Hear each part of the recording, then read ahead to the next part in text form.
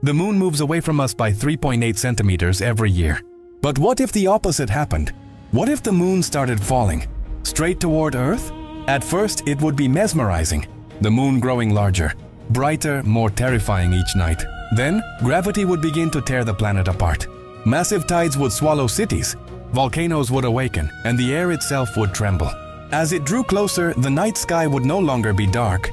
It would glow with the blazing reflection of a dying world. Mountains would crumble, oceans would boil, and the very crust of the Earth would begin to melt. The final impact would release more energy than every nuclear weapon ever built. Combined, nothing would survive. Yet for a brief, breathtaking moment, the collision of two worlds would paint the universe with light. A reminder of how fragile and how beautiful our world truly is. Subscribe for more journeys through science and the unknown.